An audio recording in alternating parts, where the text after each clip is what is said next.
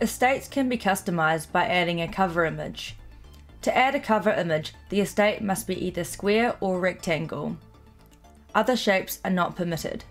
To add a cover image, right click on the estate that you would like to add the cover image to. Click Manage Estate.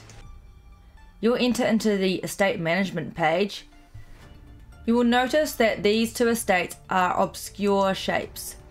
They do not permit a cover image. Only rectangle or square estates permit a cover image.